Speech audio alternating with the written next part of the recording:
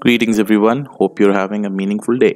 This is our second part of the Socratic Dialogue series, and in this video, we're going to be discussing the principles of Socratic dialogue as they are incorporated into logotherapy from our practice. These principles should not be taken as hard and fast rules, but more as general guidelines and one way of incorporating philosophy into psychotherapy. Before we dive into the process, let's move with the understanding that Socratic dialogue isn't a debate. The point here isn't to win an argument or win anything, but it is to help each other catch contradictions, clarify concepts, examine positions, and reflect. So it's a win win situation for everyone. One of the best ways to experience this process is to do it in a group or with a friend. You can try it out by taking the exercises we will outline in the following principles and give them a whirl with a friend or maybe in the comment section of this video. We'd love to hear your thoughts. So with that, we start with the first principles which we'd like to call self-knowledge. We often go through life thinking we know ourselves, such as knowing in the present what we want, what we feel, how we feel and behave, and even extend it to the future as well. However, especially in therapy, we often come across the opposite being true. Haven't you come across a time in your life where you behaved in a way that you never expected yourself to? This ties into the logotherapeutic position that the self is a process and not a state. So let's unpack this. Dr. Viktor Frankl echoed the existentialist position that existing or being yourself is a process of becoming meaning that there would always be a gap between who you want to be and who you are. And that's not a bad thing, but the ideal state because fulfilling this gap is exactly what makes our efforts enjoyable and have meaning. Think about a tough exam you passed after countless hours of effort. But what if it was easy? Would you have felt the same fulfillment? The issues here arrive when this process is outside of our awareness or we become impatient and frustrated with it. The Socratic tradition addresses this lack of awareness by treating yourself as if you don't know yourself. How would you acquaint with yourself? What questions would you ask to get to know a person? Why not answer those questions yourself? To get a taste of this principle, try this exercise. Think back to a difficult life choice you had to make, such as maybe moving to another city or choosing your major in college, or any choice you had to make with high personal stakes. What were your choices? What did you end up choosing? Why did you make that call? Are you content with the decisions you took? If you are, then please elaborate why. And if you aren't, then try to elaborate why aren't you? We would love to hear your experiences in the comments if you feel comfortable sharing them. With that, we come over to the next principle that is of the right questions. Nietzsche commended Socrates by saying Socrates teaches you how to listen. The power of philosophy is not in the answers we get, but in knowing the right questions to ask. Think about it. Are not most biases unquestioned assumptions? Maybe they persist because we have never thought of asking the right questions. You can see this in the famous quote by Socrates himself An unexamined life is not worth living. For Socrates, the lapse often comes because we just assume things to be true and don't examine them. Many of our defining moments are when we face the right but often difficult questions, especially when we have to defend the answers we come up with. As an example, take addiction. It is a very hard thing to come out of, and often, sadly, well intentioned friends and well wishers can derail those efforts. For instance, if you are quitting smoking, but all of your friends are smokers, then every time you are near them, they may be offering you a cigarette. Perhaps not because they don't want you to stop smoking, but because they think that's what a friend should do. In this scenario, are they truly being a good friend? Are you being a good friend by not sharing that you feel tempted every time? Should not friends easily share and support? This is where our concept of a friend needs careful examination. So, as an exercise, try this. Think of an open ended question about something that is usually assumed to be true, such as Friends always help friends. One should never lie.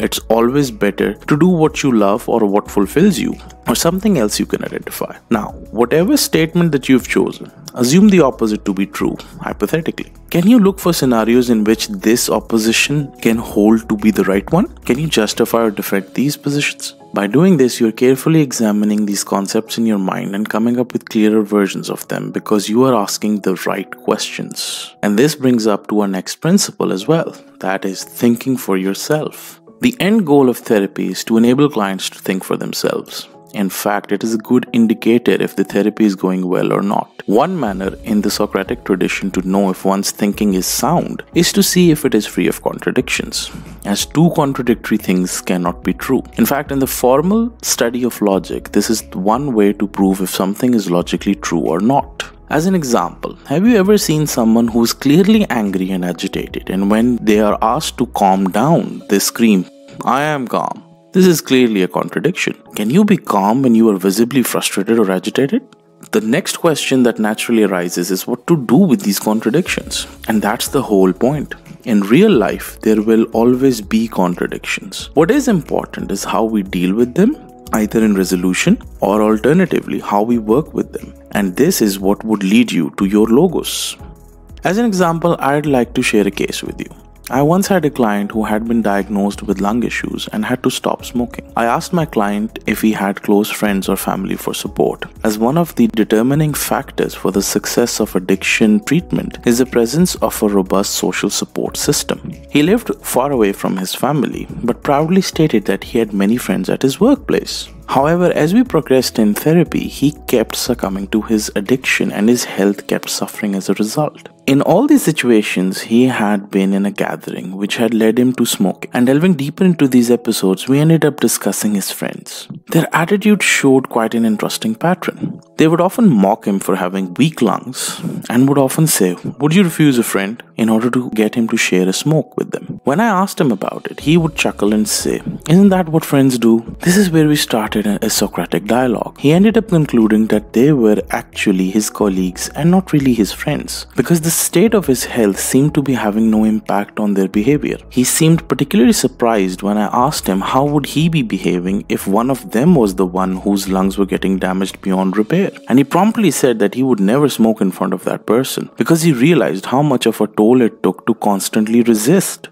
Here the issue is not the quality of his company but the concept of friendship he had and asking the right questions was fundamental in steering his recovery. As an exercise, try the following. Take any position on an issue that has seen such disagreement in your personal experience. Can you come up with both for and against statements for it? Then try to find out if you can point any contradictions from both these positions. And here we come on to the next principle that is of non-conformity. Another major aim of therapy is to enable clients or patients to be able to navigate the complexities of life themselves. How can we be sure that our thoughts are truly our own? You may let the evidence guide your thinking, but then try to take a look at any divisive issue in your country. You will find some form of evidence for nearly all points of view. The second option can be to see what others are thinking but then again, are you not adopting their thinking rather than coming up with your own thoughts? In such cases, philosophical reflection is the answer. If we take Socrates as an example, then he was a thinker who trusted his reason, intellect, just as much as his intuition, for the practice of reflection would lead him to the right way in any case. However, what is required and much harder to come by is the patience. A good example of this is a major life decision, such as choosing a job, for instance. A person goes through years of education but is expected that they instantly procure employment or know what they want to do with their life. But why is that assumed to be so? Is this because we are not taught how to think for ourselves and are reliant on others to do it for us? I'd like to illustrate this by an example of a friend. He had graduated with an engineering degree, but lately had been experiencing depression. He talked to me, more as a friend, and started discussing his condition. It turned out he had developed it ever since he had been going to the university, and it had gotten particularly bad ever since he had joined his job. I simply asked him, why doesn't he quit? He answered, because it's the best paying job in his field. I asked him then why doesn't he quit his field? He answered it was because he had studied for it. I asked, why did he study for it then? He answered because his parents really wanted him to. I just observed then he had done his part. He had studied what they had wanted, but that did not necessarily mean that he had to make a career out of it. And in doing so, even though he was paid handsomely, it did not seem to give him a sense of fulfillment. The point really hit him and in the next couple of months, he quit his job and opened up a burger stand because that was something he really enjoyed and ended up earning more than what he was earning at his job. It took his parents a long time to accept his decision, but the point here is to focus on is that even though there was evidence for his studies landing him in financial security, the studies and the job were never his own decision to begin with because he did not choose them. This is what nonconformity can do. It isn't opposing popular option for the sake of it. That is being different just for the sake of being different. But knowing exactly why, because in itself, Neither conformity nor nonconformity are bad things, but decisions without insight often are. Try this exercise. Take any hard decision in your or someone else's personal experience. What was the problem and how was it resolved? Then, in the resolution, try to explore the basis of the foundations of their resolution. How much of these foundations were truly your own or their own thinking, and how much of it was influenced by other people? And with this, we come up to the most important one of the principles, and that is of soulful truths. The alignment of one's beliefs, thinking, and behaviors are the best route to contentment according to the Socratic tradition. When we are fully aware of our limitations and have the courage to speak them, then the path to truth is liberating. Interestingly, Freud recognized that we hurt ourselves the most when we lie to ourselves. The synchrony of belief, thinking, and behaviors has been worked on by many CBT practitioners and is a prominent feature in the works of Carl Jung as well. As an example, take health, for instance. How many people forego a simple walk routine in order to go for an intense exercise program that never seems to start?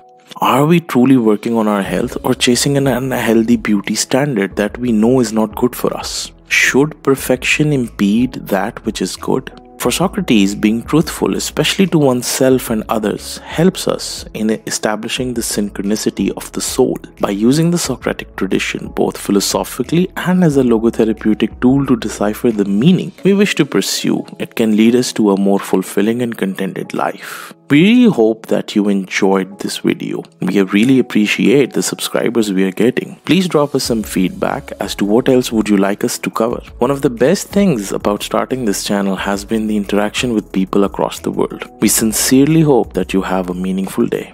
Thank you so much once again.